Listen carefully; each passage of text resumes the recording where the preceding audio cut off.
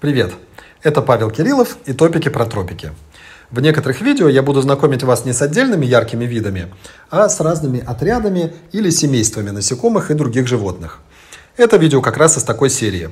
Пора нам замахнуться на пластинчатоусых наших, на жуков.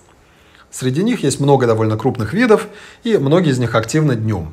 Те, что активны ночью, ведут себя довольно шумно. В общем, семейство и заметное, и крупное по численности – около 30 тысяч видов. Присмотритесь к усикам жука, и вы легко поймете, откуда взялось название семейства. Пластинчатоусами их называют за особую форму строения усика с пластинчатой булавой, которая способна раскрываться в виде веера. Наверное, самый известный у нас пластинчатоусый жук – майский. Есть они и в Мексике. Вид другой, но называются также. Ибо появляются когда? Правильно, в мае. Вот они массово появились и стараются быстрее наесться для того, чтобы приступить к размножению. Едят майские жуки листья разных растений. Конечно, у них есть и свои предпочтения.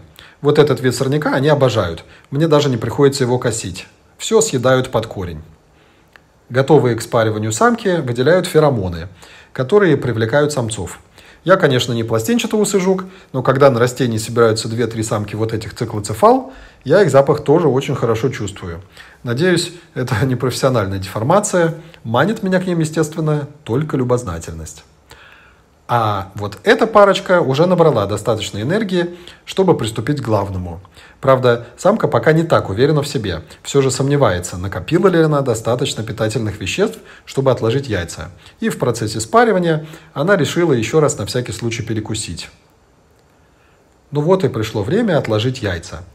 Для этого жучиха заглубляется в почву. Чем богаче она перегноем, тем жирнее будут ее личинки – у нас тут есть и компостная куча, и клумбы. Личинкам еды будет достаточно. Самка это чувствует, поэтому копает бодро. Тем более, что мы застали ее в самый уязвимый момент. Голова уже внизу, а задняя часть еще снаружи. Того и гляди, муравей за нее ущипнет. Поэтому надо торопиться. Практически все пластинчатоусые – отличные копатели. Их передние ноги для этого очень хорошо приспособлены. Вот, посмотрите на этого жука-носорога. Вроде и крупный жук, а в землю зарывается очень неплохо. Эту самку носорога я заметил, пока фотографировал ночью мотыльков. Она копает, чтобы отложить яйца в безопасное место поглубже в землю. Место, правда, она выбрала так себе, на обочине дороги.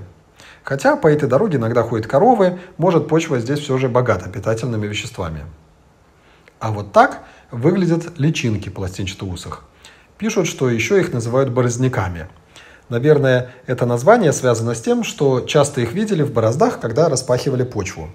А вот в Мексике и других латиноамериканских странах я часто слышу, что их называют слепыми курицами. Почему курицы, вообще непонятно. Ну, как бы их ни называли, личинки пластинчатоусых толстые и неповоротливые. Вне почвы им передвигаться сложно. Эти личинки прогрызают себе в земле ход, поедают гумус, прелые листья, а многие и свежие корешки – за это некоторые виды считаются вредителями.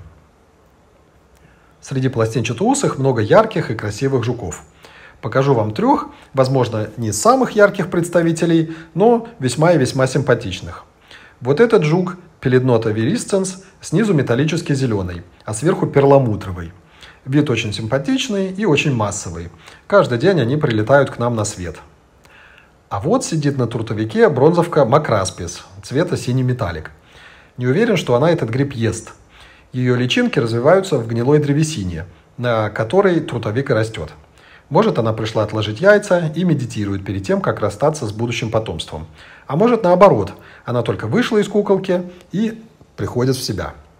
По поводу того, почему синий и зеленый металлик так часто встречаются у насекомых, есть разные теории. Как-нибудь мы обязательно сделаем на эту тему отдельное видео и обсудим, зачем это может быть нужно. А вот эта бронзовка матово-зеленая. Несмотря на неуклюжий вид, пластинчатоусые умудряются неплохо летать. На вид эта бронзовка как лада с приделанными крыльями от дельтаплана. Но летает же. Природа знает толк в инженерном деле. Жизнь и пластинчатоусого жука, и его неповоротливой личинки непроста. Кто только ими не питается. В следующем видео ровно через неделю мы увидим очень неожиданного врага пластинчатоусых – Подписывайтесь, чтобы не пропустить. И не скупитесь на лайки.